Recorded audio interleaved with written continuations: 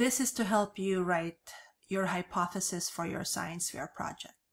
So what is a hypothesis, right? So this is the sign language for hypothesis. This is the letter H.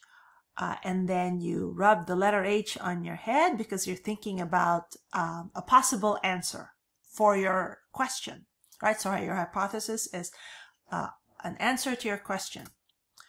Uh, so uh, your hypothesis is a statement you make before you do your experiment that describes what you think will happen. That's why you're thinking about it this way. Uh, our hypotheses are often wrong, and that is okay. So it's basically like an educated guess. After your experiment, you will see if your data supports or contradicts your hypothesis. So it's fine if you don't know the answer to your inquiry question, uh, but um, your guess is like your hypothesis, right? But more than just a guess, uh, it should be backed up by some reasoning on how you understand uh, your project. So your prediction, uh, which is also your hypothesis, is what you think will happen. It refers to the independent and dependent variables. Uh, it's based on evidence, right? So a description of why you made your prediction. Uh, you should use sources such as books, magazine, magazines, the internet, or other lab reports and experiments. So it's just more than a guess. It is somewhat an educated guess. Um, it is a prediction with evidence. So uh, since you are using evidence, make sure to cite your sources. Where did you get your evidence?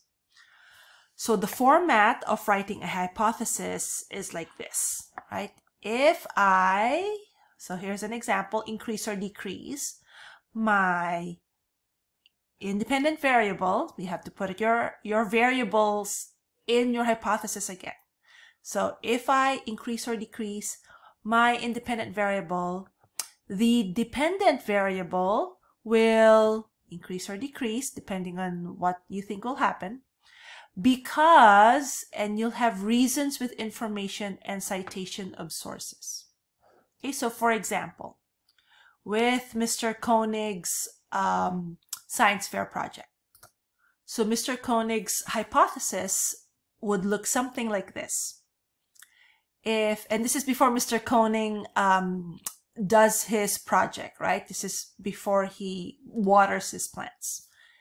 If I increase the amount of water, the height of the plant will increase, right? So that's part of his hypothesis. And then he adds a because, which has some reasoning in it, right? And he is using the TCI textbook, right? So he did some research and according to the TCI textbook, he says, because according to my TCI textbook on page 12, plants use water and sunlight to create food they can use to grow.